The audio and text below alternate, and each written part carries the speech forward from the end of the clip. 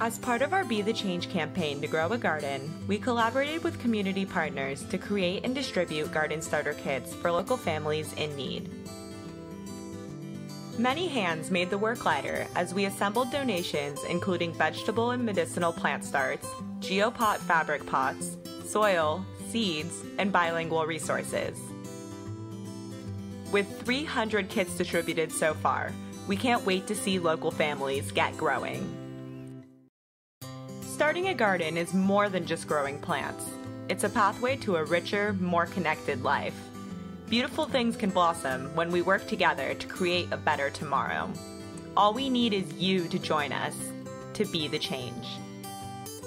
There are seven actions you can take today to grow a garden. Join the movement and register at dailyacts.org slash be the change.